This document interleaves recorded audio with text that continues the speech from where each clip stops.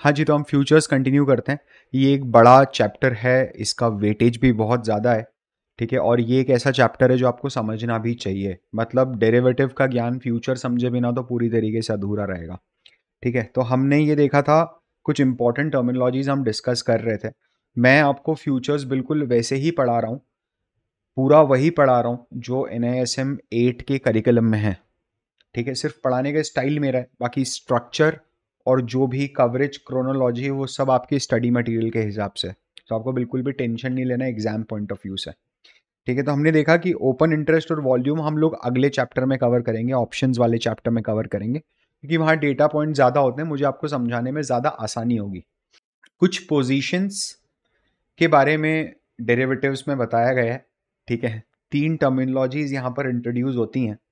एक होता है लॉन्ग पोजीशन एक होता है शॉर्ट पोजीशन और एक होता है ओपन पोजीशन लॉन्ग पोजीशन का मतलब है क्या होता है? लॉन्ग पोजीशन का मतलब ये है, आपने बाय कर रखा है. सिंपल सा लॉजिक है. मैंने रिलायंस का सेप्टेम्बर अगस्त का फ्यूचर बाय करा. समझना. तो I am long in Reliance August future similarly short position का क्या मतलब है? आपने सेल कर रखा है. ठीक है, बिल्कुल सिंपल सा लॉजिक है। आपने सेल कर रखा है, ठीक है, और ओपन पोजीशन का क्या मतलब है? बाय ऑब्लिक सेल कर रखा है, या तो बाय पोजीशन है, या सेल पोजीशन है, प्लस अभी तक सेटल नहीं हुआ है, ठीक है? ओपन पोजीशन मतलब मैंने बाय करा है, और बाय करने के बाद मैंने उस पोजीशन को अभी तक सेल ऑफ़ नहीं करा है। The position is still open from my side, that is open position. अब यहाँ पर है ना, आपको एक और टर्मिनोलॉजी से रूबरू होना है, वो है नेकेड पोजीशन नेकेड पोजीशन का क्या मतलब होता है पता है? नेकेड पोजीशन का ये मतलब है that you have only buy और सेल अ फ्यूचर कॉन्ट्रैक्ट आपने सिर्फ़ और सिर्फ़ एक फ्यूचर कॉन्ट्रैक्ट को या तो बाय करा हुआ है या सेल करा हुआ है। तो सर, इसको नेकेड क्यों बोल रहे हो आप? इसको नेकेड बताओ क्या क्यों बोल रहे हैं? Why it is called as a naked position अगर आप सिर्फ़ फ्यूचर कॉन्ट्रैक्ट का या तो बाय करते हो या सेल करते हो तो आपका जो प्रॉफिट है, वो प्रॉफिट आपका हो सकता है अनलिमिटेड, है ना? और आपके जो लॉसेज हैं, वो लॉसेज भी हो सकते हैं आपके अनलिमिटेड। मतलब क्या है कि आप मार्केट में पूरी तरीके से एक्सपोज खड़े हो, पूरी तरीके से नेकेड खड़े हो। आप समझ नहीं पा रहे हो अभी। अगर मान लो मैं डाबर का फ्यूचर लेता हूँ, आज डाबर के फ्यूचर की कीमत नाइन फोर्टी फोर रुपीज़ है। है ना? आपने इसको बाय करा तो आप साढ़े बारह सौ शेयर बाय करोगे बॉस एक साथ। कल अगर मान लो डाबर का फ्यूचर सौ रुपये कम में खुलता है तो आपको सीधे सीधे साढ़े मतलब दो लाख पचास, पच्चीस हज़ार रुपये का नुकसान है। अगर किसी कारण से, मान लो ऐसा हो जाए बर्मन फैमिली एक्सीडेंट कुछ भी इस तरह की कोई चीज़ हो जाए, और ये दो सौ रुपये नीचे खुल जाए तो आपको सीधे सीधे ढाई लाख रुपए का नुकसान है एक दिन में। Why because you have open positions which are naked. You have open position जो नेकेड है। तो सर, इससे बचने के लिए क्या करना पड़ेगा? मेरे को ये जो अन अनलिमिटेड प्रॉफिट और अनलिमिटेड लॉस है तो मैं समझ रहा हूँ कि पोजीशन नेकेड है। तो इससे बचने के लिए जो करना पड़ेगा ना, अभी सिर्फ़ टर्म समझ लो। उसके ऊपर पूरा का पूरा चैप्टर दिया हुआ है इन लोगों ने। तो हमें करनी पड़ेगी हेजिंग हेजिंग में क्या होता है? हेजिंग में है ना, आपका ऑब्जेक्टिव ये रहता है कि आप, अगर आप फ्यूचर बाय या सेल कर रहे हो तो उसके साथ आप एक पोजीशन और लो। या तो फ्यूचर में लो, या फिर ऑप्शन में लो, लेकिन एक पोजीशन और लो। विथ एन ऑब्जेक्टिव कि आपका जो प्रॉफिट हो रादर गलत बोल दूँगा मैं विथ एन ऑब्जेक्टिव कि जो आपका लॉस है, वो लॉस लिमिटेड हो जाना चाहिए। यहाँ पर हेजिंग का ऑब्जेक्टिव प्रॉफिट कमाना नहीं होता है। The objective of hedging should be कि जो मेरा लॉस है, वो लॉस एकदम कम हो जाए लिमिटेड हो जाए। मुझे पता हो, ये जो अनलिमिटेड वाला टैग है ना, ये हट जाए। क्योंकि अगर आप नेकेड पोजीशन लेके खड़े हो फ्यूचर्स की, है ना तो it is a weapon of mass destruction आपको समझ नहीं आ रहा है अभी। मैंने फ्यूचर स्टॉक्स को एक दिन में 25-25 परसेंट नीचे गिरते हुए देखा, सब उड़ जाता है ब्रो कितने ऑर्डर लेके जाएगा, सोच तो कितना पैसा लगा देगा। अगले दिन खुले ही सात परसेंट, आठ परसेंट नीचे। या मान लो तो शॉर्ट करके गए अभी अभी हुआ था रिसेंटली इन्फोसिस एक दिन में टीसीएस एक दिन में सेवन परसेंट आप खुले ही पाँच परसेंट ऊपर। आप बेच के गए हो टीसीएस को। इस उम्मीद में कि नीचे गिर जाएगा। राइट और टीसीएस एकदम टन के ऊपर खड़ा हो गया। अब आप क्या करोगे? डोंट हैव एनीथिंग एल्स तो इसलिए हम लोग हेजिंग करते हैं। हेजिंग में क्या होता है? कि मैं कुछ ऐसा कर देता हूँ कि लॉस सर ये है ना, समझ नहीं आ रहा। कुछ ऐसा कर देता हूँ कि लॉस सेटल हो जाता है का क्या मतलब है? तो उसके लिए है ना, आपके सिलेबस में फ्यूचर्स का पे ऑफ़ दे रखा है। है ना, मैं थोड़ा सा जंप ले रहा हूँ। हम ये दो तीन चीज़ें अभी के लिए छोड़ रहे हैं। मैं यहाँ से सीधे दो स्लाइड जंप लेके फ्यूचर के पे ऑफ़ चार्ट पे आ रहा हूँ कि फ्यूचर का पे ऑफ़ चार्ट क्या होता है और कैसे दिखता है। तो मैं आपको सीधे अभी सिस्टम पे लेके आता हूँ एंड हम लोग प्रैक्टिकली ओपन करके देखते हैं। अनफॉर्चुनेटली जब मैं अभी रिकॉर्ड कर रहा हूँ तो मार्केट क्लोज हो चुका है but again we don't need the live market for this आप O P S T R A search करेंगे गूगल पे तो ये ऑप्स्ट्रा ऑप्शन एनालिटिक्स करके आपके सामने ओपन होगा। सब कुछ फ्री है, कोई प्लान व्लान नहीं लेना है। यहाँ पर आपको सिर्फ़ करना इतना है कि आपको है ना इधर मेरे फ़ोटो के पीछे, जहाँ मैं बैठ के बात कर रहा हूँ, मेरे बिल्कुल पीछे इस तरफ़, जहाँ मेरा कर्सर घुसा है, वहाँ लॉग इन और साइन अप है। आप वो लॉग इन और साइन अप कर लेना। एक बार आपका लॉग इन हो गया, ये लॉग इन हो चुका है, ठीक है? तो आपको क्या करना है? आपको है ना ये बिल्डर में जाना है इधर। ये बिल्डर में इधर। यहाँ पर बिल्डर में जाना है। आप बिल्डर गेम में गए। अब थोड़ा सा ध्यान देना जरा मैं यहाँ लेता हूँ डाबर। हाँ, क्योंकि डाबर की अपन बात कर रहे थे। तो यहाँ पर कुछ चीज़ें आपको पहले दिखेंगी पहले वो समझ लेते हैं है ना? क्योंकि हमारा मेन उद्देश्य है कि हमें पे ऑफ़ चार्ट समझना है। तो उसके पहले कुछ एक चीज़ें हैं वो पहले क्लियर कर लेते हैं। अभी अगर आप देखोगे तो यहाँ पर ये बता रहा है कि डाबर का अगर आप शेयर कैश में लेते हो तो 640.9 is the spot price Dabur का जो रीसेंट एक्सपायरी का जो फ्यूचर है, अगर वो लेते हो तो 644 है. इन दोनों के बीच का डिफरेंस क्यों? ये अपन ने हल्का फुल्का समझा था लास्ट वाले सेशन में that it is because of cost of carry है ना? इसका और डिटेल डिस्कशन आएगा आगे. लॉट साइज़ 1250 है, मैंने आपको पहले ही बोला है कि एक रुपए का अगर मूवमेंट होता है तो आपको twelve hundred and fifty rupees का प्लस माइनस हो जाएगा। इंप्लाइड वॉलिटिलिटी जो आईवी है ना, वो आईवी है 23.31 23.31 का क्या मतलब है? कि ये स्टॉक अगले एक साल में या तो तेईस परसेंट ऊपर जा सकता है या तेईस परसेंट नीचे आ सकता है। इसमें इतनी अभी वोलाटिलिटी चल रही है। ठीक है? आईवी परसेंटाइल का क्या मतलब है कि जो हाईएस्ट वोलाटिलिटी रही है, वहाँ से अभी current volatility is at sixtieth percentile ये शेयर और वोलेटाइल रहा है। ठीक है, जब बहुत ज़्यादा इसमें बाय सेल होता है। अब अपन क्या करेंगे? फ्यूचर्स लेंगे डाबर का। Twenty ninth August twenty twenty four की एक्सपायरी का फ्यूचर लेंगे अपने को। तो यहाँ पर देख लेते हैं अपन लास्ट थर्सडे होना चाहिए हो twenty ninth August is the last Thursday ठीक है आई डोंट नो ये कुछ डॉट्स मुझे यहाँ दिख रहे हैं, आपको भी दिख रहे हैं क्या? I am not sure about it but any तो मैं क्या करता हूँ, इसको बाय कर लेता हूँ। अब जैसे ही अपन ने इसको बाय करा तो यहाँ पर है ना एक पे ऑफ़ चार्ट ओपन हो गया है। ये वाला, देखो आप यहाँ दिख रहा है वो पे ऑफ़ चार्ट है। तो अपन सब समझेंगे धीरे धीरे करके।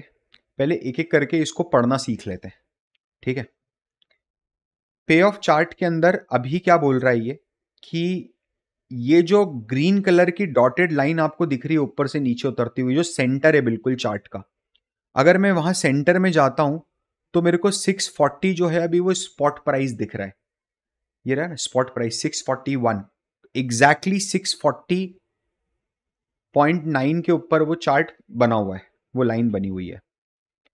ये पे ऑफ़ ग्राफ का मतलब ये है, अगर आप ध्यान से देखोगे तो इसका जो एक्स एक्सेस है ये जो एक्स एक्सेस है, ये वाला एक्सेस एक्स एक्सेस होता है, यहाँ पर है ना डाबर के प्रोबेबल प्राइजेस लिखे हुए हैं कि डाबर कितना बढ़ सकता है और कितना कम हो सकता है।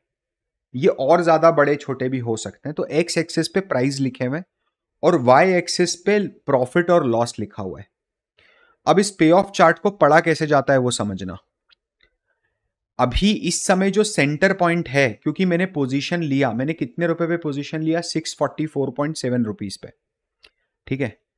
अगर market six forty point nine ये जो सिक्स फोर्टी पॉइंट नाइन जो फ्यू जो स्पॉट का प्राइस है, अगर ट्वेंटी नाइन्थ ऑफ़ ऑगस्ट के दिन जो कि एक्सपायरी है स्टॉक का price six forty nine six forty point nine rupees रह जाता है तो मुझे कितने रुपए का लॉस होगा? ये देखिए, दिख रहा है आपको वो ब्लैक कलर में और वो ऑरेंज कलर और ब्लू कलर के बॉक्स में बना हुआ? My P N L would be five eight seven five negative अगर समझना इधर, अगर प्राइस 644 रह जाता है 644 रह जाता है तो भी 875 का लॉस होगा। कारण क्या मैंने 644.7 पे लिया है तो 70 पैसे का फिर भी लॉस होगा। ये मेरा पे ऑफ़ चार्ट है। सर, अगर मान लीजिए आपने 644 पे लिया है और प्राइस 700 हो जाता है तो? तो एक बार जाके देख लो 700 के प्राइस पे। देखो, ये नीचे प्राइस दिख रहा है, ये चल रहा है प्राइस 700 पे आइए आप। इधर दिस इज़ 700 अगर यहाँ से प्राइस थर्टी फ़र्स्ट अगस्त के दिन या उसके पहले भी क्योंकि फ्यूचर है। समझना। ऑप्शन में पे ऑफ़ चार्ट में ये लाइन नहीं बोल सकता मैं। There is a reason behind it मैं समझाऊँगा आपको। अगर स्टॉक का प्राइस बढ़ के 700 हो जाता है तो मेरा जो प्रॉफिट होगा वो 69,000 हो जाएगा। अगर स्टॉक का प्राइस जो मैंने 644 में लिया ये बढ़ के 600 हो जाता है कम होके 600 हो जाता है तो मेरा 55,875 का नुकसान हो जाएगा। ये पे ऑफ़ चार्ट होता है मोटा मोटा आपको ये समझना है कि एक्स एक्सिस पे प्राइस होता है वाई एक्सिस पे प्रॉफिट एंड लॉस होता है और बीच में आपको दिखाया जाता है कि आपका कितना प्रॉफिट है और कितना लॉस है। मैं आपसे डायरेक्ट बात कर रहा हूँ। बिलीव मी मतलब मैं आपको ये पे ऑफ़ चार्ट अगर यहाँ पर स्लाइड में हाथ से बना के बताता तो कोई मज़े वाली बात थोड़ी ना थी, वो तो वही बात हो जाती जो आप पढ़ते हो एकेडमिक्स में। ना, मैंने आपको प्रैक्टिकली बताया कि अपन इसको यूज़ करेंगे ऑप्स्ट्रा को अपना जो थर्ड चैप्टर है मतलब जो अपना फिफ्थ चैप्टर है it is full with strategies only option and futures strategies तो आप तो उसकी टेंशन ही मत लो, ठीक है? अब थोड़ा सा यहाँ देखते हैं। अभी अगर आप देखोगे, इस समय तत्काल रूप में मेरा जो प्रॉफिट है, वो नेगेटिव चल रहा है कि मेरे को इस समय कुछ सात हज़ार रुपए का नुकसान हो रहा है। प्रोबेबिलिटी ऑफ़ प्रॉफिट एक स्टैटिस्टिकल कैलकुलेशन है जो मार्केट इंटर इंप्लाइड वैल्यू के हिसाब से करता है। ये मुझे बता रहा है कि भाई अभी तेरी 46 परसेंट प्रोबेबिलिटी है। कि तू प्रॉफिट में क्लोज होगा। थर्टी फ़र्स्ट ऑगस्ट तक, है ना? ज़रूरी नहीं है, सिर्फ़ 46 परसेंट प्रोबेबिलिटी है। उल्टा भी देखो 54 परसेंट प्रोबेबिलिटी की लॉस में कन्वर्ट होगा। मेरा मैक्सिमम प्रॉफिट कितना है? मेरा मैक्सिमम प्रॉफिट जो है वो अनडिफाइंड है, कितना भी हो सकता है। अगर ये हज़ार रुपए चला गया तो हो सकता है। अगर ये ज़ीरो हो गया तो हो सकता है। ठीक है तो मेरा मैक्सिमम लॉस भी अनडिफाइंड है। तो ये जब maximum profit undefined maximum loss undefined तो पोजीशन क्या ये नेकेड पोजीशन कहलाई जाती है क्या? Absolutely this is a naked position ठीक है? Maximum risk to reward ratio तो नॉट एप्लीकेबल ही आएगा। क्यों? Maximum risk to reward ratio कैसे निकलेगा आपका? अगर आप मैक्सिमम लॉस को मैक्सिमम प्रॉफिट से डिवाइड करोगे तो जो आएगा that is your maximum risk to reward ratio मतलब मेरा maximum loss would be two thousand से for example and my maximum profit would be six thousand से फॉर एग्ज़ाम्पल तो two thousand divided by six thousand one by three my risk to reward ratio would be one by three break even का क्या मतलब है? Break even का मतलब है कि किस स्पॉट के मतलब ये स्टॉक का जो प्राइस है, ये क्या प्राइस पे आ जाए कि तेरा नो प्रॉफिट नो लॉस हो जाए? That is break even six forty five अभी चूँकि पोजीशन मार्केट क्लोज हो चुका है तो कोई भी ये पी नहीं बता पाएगा आपको। हमने तो एक फिक्टिशियस ट्रेड लिया ना this is a strategy builder to check whether कि अगर मैं इसी स्ट्रैटेजी मार्केट में एग्जीक्यूट करता हूँ और प्रॉफिट लॉस होता है तो मेरे को कितना प्रॉफिट लॉस होगा? ये एक स्ट्रैटेजी बिल्डर है, ये ओरिजिनल मार्केट से लिंक नहीं है है ना? और ये एक अप्रोक्सीमेशन बताता है कि भैया, एक लॉट अगर आपको लेना है डाबर का फ्यूचर में बाय करना है तो आपके पास एक लाख चालीस हज़ार तीन सौ दो रुपया होना चाहिए। सर, ये तो मेरे को पूरा पे ऑफ़ चार्ट समझ में आ गया। आप मेरे को अब ये बताओ कि जो हमने देखा था कि नेकेड पोजीशन है। ठीक है तो नेकेड का आपने उल्टा बताया था हेज पोजीशन जिसमें लॉस को मिनिमाइज करा जाता है लॉस को लिमिट करा जाता है। उसका वो क्या है? देखो, अभी एक मिनट में लॉस लिमिट कर देते हैं। हम क्या करेंगे पता है? मुझे पता है भी आपको समझ में नहीं आएगा, आप सिर्फ़ जादू देख लो। अभी अगर मैं सिर्फ़ एक फ्यूचर का कॉन्ट्रैक्ट लेने जाता हूँ मार्केट में तो मेरे को एक लाख चालीस हज़ार रुपए देना है। मेरा प्रॉफिट अनलिमिटेड है, मेरा लॉस अनलिमिटेड है, एक नेकेड पोजीशन है। मैं इसको हेज करता हूँ, कैसे हेज करता हूँ? ऑप्शन ऑप्शन बाय करता हूँ मैं। कौन सा ऑप्शन बाय करता हूँ? मैं पुट ऑप्शन बाय करता हूँ। और पुट ऑप्शन कौन सा बाय करता हूँ? पुट ऑप्शन में मान लीजिए 650 का बाय करता हूँ 650 का बाय करता और पुट ऑप्शन बाय करता पुट ऑप्शन में मान लीजिए 650 का बाय करता और पुट ऑप्शन कौन सा बाय करता पुट ऑप्शन में मान लीजिए 650 का बाय करता 650 का बाय करता ठीक है लेट्स बाय 650 का पुट ऑप्शन और मैं ऐड कर देता हूँ पोजीशन तो अब मेरे पास है ना दो पोजीशंस है।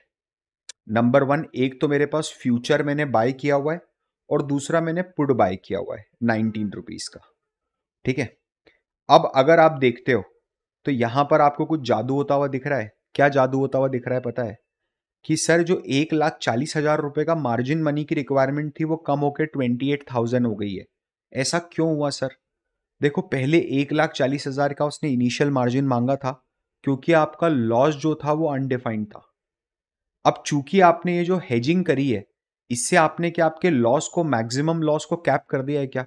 मेरा ये बोलने का मतलब है भाई हेजिंग में होता यह है कि जब प्रॉफिट होगा तो प्रॉफिट बड़ा होना चाहिए। देखो प्रॉफिट इज़ अनडिफाइंड प्रॉफिट कितना भी हो सकता है।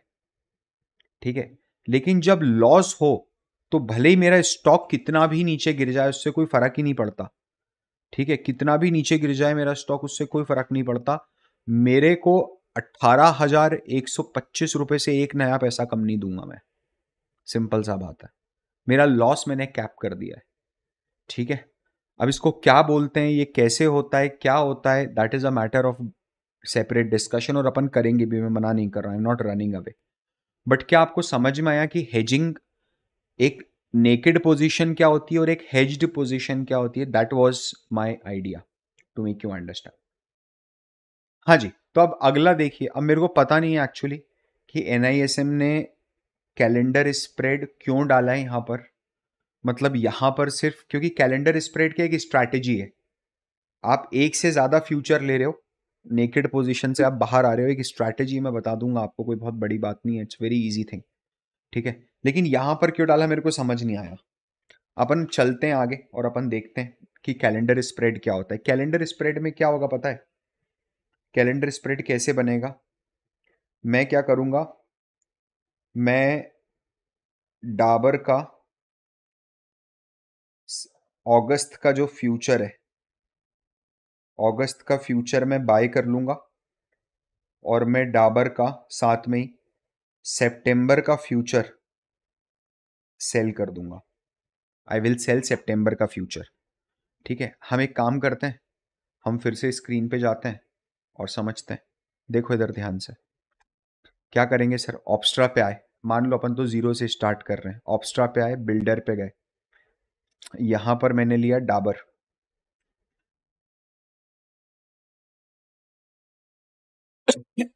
मैंने डाबर लिया। डाबर का एक फ्यूचर है। अगस्त का फ्यूचर है। क्या मैंने यही बोला था आपको कि अगस्त का फ्यूचर मैंने बाय किया? है ना? और फिर मैंने ड्रॉप डाउन मेनू से इसको सितंबर पे क्लिक किया। और फिर मैंने क्या करा, सितंबर का फ्यूचर सेल करके एड पोजीशन कर दिया। ठीक है? जब मैंने ये करा तो आप यहाँ पर देखोगे कि मेरा मैक्सिमम लॉस क्या हो गया? ज़ीरो लॉस हो गया। आप देख रहे हो मेरी बात? समझ रहे हो आप मेरी बात? और मेरा प्रॉफिट क्या हो गया? मेरा प्रॉफिट हो गया फाइव एट सेवन फाइव, ये फिक्स प्रॉफिट। सर, आप ये बोल रहे हो ये नो लॉस स्ट्रैटेजी है क्या? इसमें क्या लॉस होता ही नहीं है क्या? नहीं होगा लॉस। नो लॉस स्ट्रैटेजी नहीं सर थियोटिकली तो नहीं बोल रहे हो कि लॉस नहीं होगा। नहीं प्रैक्टिकली भी लॉस नहीं होगा। लेकिन मेरे को एक बात बता, आज ट्वेंटी नाइन्थ ऑफ़ जुलाई है। समझना लॉजिकल सोचना। आज ट्वेंटी नाइन्थ ऑफ़ जुलाई है। ठीक है? और हमने यहाँ पर सितंबर का फ्यूचर रखा हुआ है। तो इसका मतलब तेरे को कब तक होल्ड करना पड़ेगा? सितंबर की एक्सपायरी तक। दो महीने भाई अभी। दो महीने में तेरा मार्जिन रिक्वायरमेंट कितनी लगेगी? Two lakh eighty thousand rupees अटक जाएँगे दो महीने तक। और पैसा कितना मिलेगा? सिर्फ़ पाँच हज़ार सात सौ रुपए। दो परसेंट रिटर्न मतलब one percent per month return calendar spread इन्होंने क्यों आपको लेके आया मेरे को समझ नहीं आया but calendar spread is not very popular because इसमें क्या होता है? इसमें रिटर्न्स बहुत कम आते हैं। डेफिनेटली रिस्क भी देख रहे हो आप, एकदम मिनिमल रिस्क है there is absolutely zero risk but returns भी फिर लिमिटेड रहेंगे, ये बात आपको ध्यान रखनी है। ठीक है, ये कैलेंडर स्प्रेड है। It was part of your N I S M curriculum तो मैंने आपको बताया। कैलेंडर स्प्रेड में एक बात ध्यान रखना कि आप क्या करते हो, आप एक एक्सपायरी का कॉन्ट्रैक्ट को बाय करते हो और उसी असेट की दूसरी एक्सपायरी के कॉन्ट्रैक्ट को आप सेल कर देते हो। तो हमने क्या करा? डाबर की एक एक्सपायरी जो अगस्त की एक्सपायरी है, उसका कॉन्ट्रैक्ट मैंने बाय कर लिया और डाबर की ही सितंबर की एक्सपायरी का कॉन्ट्रैक्ट मैंने सेल कर दिया। तो ये बन गया मेरा कैलेंडर का स्प्रेड जिसमें मेरे लॉस हो गए ज़ीरो मेरा प्रॉफिट श्योर शॉट होगा ही होगा। अगर कोई बच्चा बहुत बुद्धिमान है, ठीक है तो वो देख के समझ गया है कि प्रॉफिट कैसे होगा। बताया प्रॉफिट क्या हो रहा है? Profit is nothing but the exact difference between 649.4 and 644.7 multiplied by 1250 क्योंकि 1250 का तो लॉट साइज़ है। आप समझ रहे हो, आप दोनों की मिस प्राइजिंग का एक बेनिफिट उठा रहे हो, क्योंकि एक पॉइंट ऐसा आता है एक्सपायरी का जो दिन होगा, उस दिन इन दोनों की प्राइस सेम हो जाएगी। समझ रहे हो आप? और आप उसी का फ़ायदा उठा रहे हो दैट्स इट और कुछ भी नहीं है, ये लॉजिक है कैलेंडर स्प्रेड के पीछे। ठीक है? अगर ये आपको समझ में नहीं आया है तो जितना एनआईएसएम में लिखा है आप उतना भी करके जाओगे तो आपको सैल्यूट है। बाकी थर्ड चैप्टर के अंदर जितना है स्ट्रैटेजीज वगैरह अपन एक एक स्ट्रैटेजी को ढंग से समझेंगे डोंट वरी ठीक है? चलिए। हाँ जी तो हम आगे बढ़ते हैं। आ, फिर से वही पूछ लिया यार मतलब पता नहीं कितनी बार एक ही चीज़ रिपीट कर रहे हैं लोग कि what is the difference between forwards and futures ठीक है? तो मैं इसमें वापस टाइम वेस्ट नहीं करूँगा। Rather what we have done is कि हमने ये करके रखा है आपके लिए। तो इसी में से पढ़ लेते हैं अपन इसको फटाफट।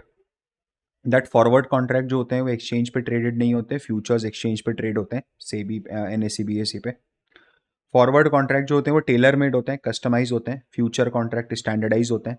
अगर आपको डाबर का फ्यूचर लेना है तो 1250 शेयर्स का फ्यूचर ही मिलेगा 1200 का नहीं मिलेगा। ठीक है काउंटर पार्टी रिस्क यहाँ पर एग्जिस्ट करती है। अंकल, हो सकता है पापा को पैसा ना दे, पापा अंकल को, अंकल से सोयाबीन ना ले, कुछ भी हो सकता है। और यहाँ पर क्या होता है काउंटर पार्टी रिस्क नहीं होती है, क्योंकि मुझसे मार्जिन मनी पहले ही ले लिया जाता है।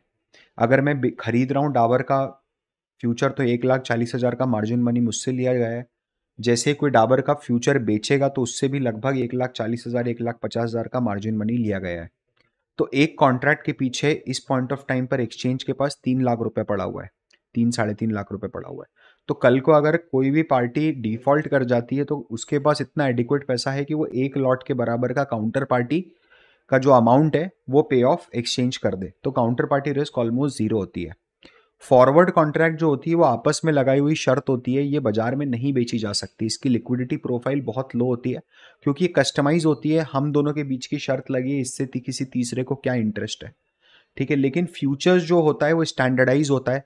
अगर आज मैंने डाबर पे शर्त लगाई है तो ज़रूरी नहीं है कि मेरे को एक्सपायरी तक रुकना है। मैं आज ही चाहूँ अगर तो मैं डाबर का फ्यूचर सेल कर सकता हूँ मार्केट में जाके, क्योंकि मार्केट में खरीदार तैयार हैं।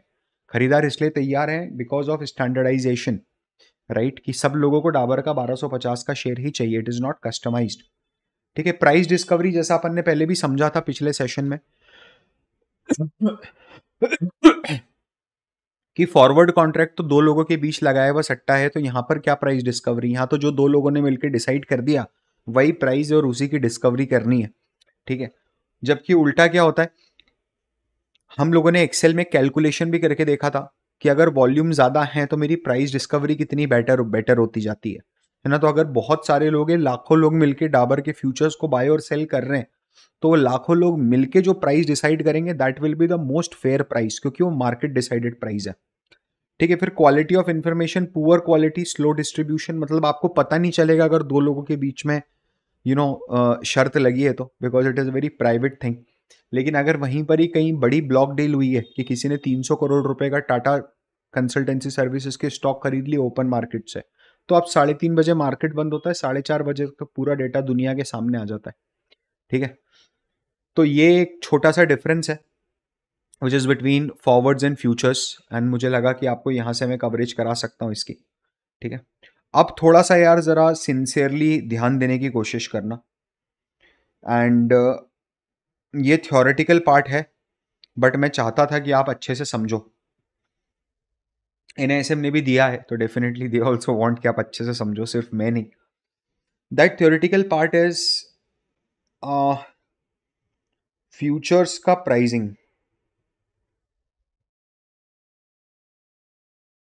है ना? थोड़ा सा समझना है इधर। फ्यूचर्स का प्राइसिंग का मतलब मेरे को समझ में नहीं आया। अगर हम अभी अभी ताज़ा एग्ज़ाम्पल रिकॉल करें तो डाबर का जो स्पॉट प्राइस चल रहा है स्पॉट प्राइस मतलब स्टॉक का प्राइस कैश में अगर एक स्टॉक में खरीदता हूँ that is six forty point nine जितना मेरे को याद है। है ना? और डाबर का ही सेप, अगस्त का जो फ्यूचर चल रहा है अगस्त का जो फ्यूचर चल रहा है, वो six forty four point seven चल रहा है से फॉर एग्ज़ाम्पल है ना? तो इन दोनों के बीच का जो डिफरेंस है, ठीक है? Why there is a difference क्यों डिफरेंस है इन दोनों के बीच में? There is a mispricing समझना इधर। इन दोनों के बीच में डिफरेंस क्यों देखना इधर। अब डाबर का जो स्टॉक है, वो स्टॉक अगर मैं आज लेता हूँ से फॉर एग्ज़ाम्पल आज अगर मैं साढ़े बारह सौ, क्योंकि डाबर का जो फ्यूचर है, वो तो twelve hundred and fifty quantity का है। तो अगर मैं साढ़े बारह सौ क्वान्टिटी आज उठाता हूँ तो आप समझो मेरे को मोटा मोटा साढ़े सात, आठ लाख रुपए लग जाएगा। है ना? और उसके अगेंस्ट में मेरे को उधार लेके आना पड़ेगा पैसा वो किसी से। मैं इसको और अच्छे से समझाने की कोशिश करता हूँ आपको। है ना? हम आज ये समझेंगे कि फॉरवर्ड जो फ्यूचर होता है और स्टॉक का जो स्पॉट प्राइस होता है, उनके बीच में डिफरेंस क्यों होता है? अब ये जो डिफरेंस है,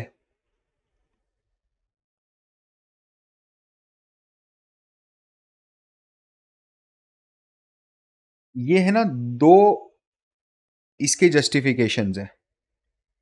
रादर दो मॉडल हैं जिनके कारण ये डिफर जिनके थ्रू ये डिफरेंस निकाला जा सकता है। सबसे पहला मॉडल आता है आपका। कॉस्ट ऑफ़ कैरी मॉडल और दूसरा मॉडल आपका आता है। एक्सपेक्टेशंस मॉडल हम क्या करेंगे? हम आज के लिए ये कॉस्ट ऑफ़ कैरी मॉडल बहुत अच्छे से समझने की पूरी कोशिश करेंगे। अगर मैं कॉस्ट ऑफ़ कैरी मॉडल की बात करूँ तो इसी को बोला जाता है नो आर्बिट्राज मॉडल ऑल्सो है ना? ये बात ध्यान रखना। इसी को नो आर्बिट्राज मॉडल भी बोला जाता है। जो कॉस्ट ऑफ़ कैरी मॉडल है, वो होता क्या है सर? पहले तो वो चीज़ समझाओ। देखो यार, सिंपल सी बात है। अगर मैं एक एग्ज़ाम्पल आपके सामने लूँ। से फॉर एग्ज़ाम्पल कि गोल्ड है और गोल्ड का जो स्पॉट प्राइस है स्पॉट प्राइस का क्या मतलब है? स्पॉट प्राइस का मतलब है कि आप कैश जाओ और कैश में जाके सोना ले लो। वो से for example sixty two thousand one thirty rupees पर टेन ग्राम चल रहा है। ठीक है? और मैंने क्या करा? मेरे को है ना फ्यूचर लेना है। ठीक है? अब फ्यूचर जो है, ध्यान से समझना। फ्यूचर जो है से फॉर एग्ज़ाम्पल फ्यूचर भी दस ग्राम का अवेलेबल है। फ्यूचर है अवेलेबल टेन ग्राम्स का। तो फ्यूचर का प्राइस क्या होना चाहिए? फ्यूचर का प्राइस क्या होना चाहिए? ये मेरे को कॉस्ट ऑफ़ कैरी मॉडल से निकालना है। अब यहाँ पर समझो आप। तो मैं क्या करूँगा पता है? मैं है ना एक सिंथेटिक फ्यूचर बनाने की कोशिश करूँगा। सिंथेटिक फ्यूचर बनाने की कोशिश करूँगा मतलब। देख यार, अगर मेरे को फ्यूचर खरीदना है गोल्ड का तो मुझे आज कोई पैसा देना है क्या? आज कुछ भी पैसा नहीं देना है। ठीक है? मेरे को एक महीने के बाद जब भी एक्सपायरी होगी, तब जो भी प्राइस का डिफरेंस है, उसके बीच का कैश का लेन देन सेटल हो जाएगा करेक्ट जो मार्जिन थोड़ा बहुत देना है, वो आज देना है। लेकिन अगर मैं स्पॉट प्राइस पे गोल्ड खरीद लेता हूँ तो मुझे पूरा सिक्सटी टू थाउज़ेंड रुपीज़ आज ही देना है। ठीक है? अब हम है ना, अगर सिंथेटिक फ्यूचर बनाते हैं तो सिंथेटिक फ्यूचर का मतलब ये है कि हम फ्यूचर को मिमिक करने की कोशिश करते हैं। फ्यूचर को मिमिक करने की कोशिश कर रहे हो मतलब? मतलब हम क्या करते हैं? मैं बताता हूँ आपको, एक सिंथेटिक फ्यूचर बनाया जाओ। सिंथेटिक मतलब बनावटी। सिंथेटिक फ्यूचर कैसे बनाओगे आप? आप क्या करोगे? आप सबसे पहले what is the price of gold price of spot gold तो six two one three zero. ठीक है तो हम क्या करेंगे? हम सबसे पहले करेंगे borrow rupees six two one three zero for one month at the rate of rupees one percent per month से फॉर एग्ज़ाम्पल तो मैंने एक महीने के लिए पहले तो six two one three zero rupees का जुगाड़ करा। ठीक है फिर मैंने क्या करा? फिर I have bought the gold buy gold at the rate six two one three zero देखो ना सिंपल सी बात है, ये सब ट्रांजेक्शन्स क्या नहीं होता है होते हैं, ठीक है? फिर क्या करोगे आप? Store gold in a locker for one month से फॉर एग्ज़ाम्पल इसका जो रेंट है that is twenty rupees for per ten gram ठीक है? अब ये जब आपने सारा काम कर लिया, आपने पैसा सेम अमाउंट बोरो करा, आप बाज़ार में गए, आपने स्पॉट में गोल्ड लिया और आप लॉकर में गोल्ड रख के आए, ठीक है? तो आपने क्या करा, आपने एक सिंथेटिक फ्यूचर बराबर एक पोजीशन क्रिएट कर दी। मतलब अब गोल्ड के प्राइस में अगर एक रुपए का मूवमेंट होता है तो जो प्रॉफिट एंड लॉस आपको फ्यूचर में बन रहा था वो एग्जैक्ट प्रॉफिट एंड लॉस आपको इस पोजीशन में भी बनेगा। लेकिन यहाँ पर क्या? ये करने के दौरान मेरी कुछ एडिशनल कॉस्ट लगी है क्या? एडिशनल कॉस्ट तो लगी है। किस चीज़ की एडिशनल कॉस्ट लगी है? एक तो ये जो मैंने बोरो करा था, है ना अमाउंट इसका इंटरेस्ट लगा है वन परसेंट बिल्कुल सही है।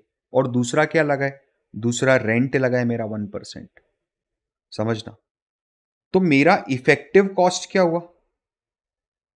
मैं अगर यहाँ बोलता हूँ effective cost of synthetic gold future उसकी इफ़ेक्टिव कॉस्ट क्या हुई? सिंथेटिक गोल्ड फ्यूचर की। तो सबसे पहले तो भाई स्पॉट स्पॉट प्राइस ऐड करो। Six two one three zero ठीक है? फिर उसके अंदर आप ऐड करो इंटरेस्ट इंटरेस्ट कॉस्ट ऐड करो आप one percent six two one three six two one point three zero है ना? तो six two one point three zero ठीक है? फिर आप करो रेंटल लॉकर का जो रेंट है ट्वेंटी रुपीस टोटल कितना आ रहा है? सिक्स यहाँ से टोटल लेते हैं वन तीन दो पाँच और एक सात, तीन और एक छ सात और two point three zero. Six two seven seven one point three zero. ये जो कॉस्ट है आपकी, ये जो प्राइस है आपका, ये प्राइस किसका प्राइस आया है अपना? सिंथेटिक फ्यूचर का प्राइस है। कि अगर आज फ्यूचर ट्रेड कर रहा होता, होगा तो उसको इस प्राइस पे ट्रेड करना चाहिए। ध्यान से समझना बिडू। ये दोनों जो है ना, ये दोनों क्या कॉस्ट ऑफ़ कैरी है क्या? बिल्कुल ध्यान से। मैं इसको और सिंप्लीफाई कर रहा हूँ। Gold spot six two one three zero six two one three zero ठीक है? Cost of carry cost of carry कितना है आपका? Six forty one point three zero. जिसमें इंटरेस्ट प्लस लॉकर रेंट है। तो ध्यान से समझना इधर। यहाँ पर मैं अगर आपको बोलूँ, इन दोनों को तो आइडियल फ्यूचर्स का प्राइस कितना होना चाहिए? आइडियल फ्यूचर्स का प्राइस होना चाहिए six two seven seven one point three zero. ठीक है? अब बिल्कुल ध्यान से समझना। एक्चुअल में फ्यूचर का प्राइस जो है, वो से for example sixty three thousand होता है। तो क्या यहाँ पर आपको एक अपॉर्चुनिटी बनी हुई दिख रही है? हाँ सर, एक अपॉर्चुनिटी बनी हुई दिख रही है। इस अपॉर्चुनिटी को क्या बोला जाता है पता है? ये जो मिस प्राइजिंग है ना, इसको मिस प्राइजिंग बोलेंगे। इस मिस प्राइजिंग के कारण क्या हो रहा है? इस मिस प्राइजिंग के कारण what are we getting we are getting an arbitrage opportunity ध्यान से समझना, ये मार्केट में एग्जिस्ट नहीं करती है। आप ऐसे ही समझो थ्योरेटिकल कंसेप्ट आप कर नहीं पाओगे। सिर्फ़ इंस्टीट्यूशंस होते हैं जो आर्बिट्राज को इनकैश कर पाते हैं क्योंकि वो बड़ी वॉल्यूम के साथ खेलते हैं। थोड़ा सा जरा दिमाग लगाओ। है ना? क्या मैं इस आर्बिट्राज क्या मैं ये जो दोनों के बीच का प्राइस डिफरेंस है, इससे कुछ मुनाफा कमा सकता हूँ क्या? कमा सकता हूँ। कैसे कमाऊँगा? मैं है ना, देखो ज़्यादा क्या है, कभी भी आर्बिट्रेज अपॉर्चुनिटी का जब फ़ायदा उठाना होता है तो जो ज़्यादा प्राइस होता है, उसको हम बेच देते हैं और जो कम प्राइस होता है, उसको अपन खरीद लेते हैं। देखना इधर ध्यान से, हम क्या करेंगे पता है? सबसे पहले इसका जो नाम देंगे, वो नाम देंगे कैश एंड कैरी आर्बिट्राज। मेरे को पता है चीज़ें डिफ़िकल्ट होती जा रही है आपके लिए, कोई बात नहीं। कोई बात नहीं आसान होता तो फाइनेंस किसी काम का भी नहीं होता ना। तो स्टेप नंबर वन हम क्या करेंगे? सेल गोल्ड फ्यूचर सबसे पहले तो मार्केट में जाके गोल्ड का फ्यूचर बेचूँगा। गोल्ड के फ्यूचर का एक्चुअल प्राइस क्या चल रहा है? सिक्सटी थ्री थाउज़ेंड रुपीज़ मैंने सबसे पहले तो गोल्ड का फ्यूचर बेच दिया। ध्यान से समझना। अब मैं क्या करूँगा? Second borrow money and buy ten gram spot में गोल्ड टेन ग्राम स्पॉट में गोल्ड एट द रेट किस रेट पे? स्पॉट में six two, one three zero. ठीक है, ध्यान से समझना। Third hold for one month hold for one month ध्यान से समझना। एंड पे कॉस्ट ऑफ़ कैरी कितना है? Six forty one and pay cost of carry six forty one point three zero. That is cost of carry भाई profit कैसे बनेगा? Cell करोगे और सेल करके बाय करोगे तो प्रॉफिट बनेगा। ठीक है? हमने सेल करा तो मेरा टोटल सेल प्राइस कितना हुआ? Sixty three thousand. ठीक है? और यहाँ पर मेरा, अगर मैं ऐसे बोलूँ तो मेरा इफ़ेक्टिव बाय प्राइस कितना हुआ?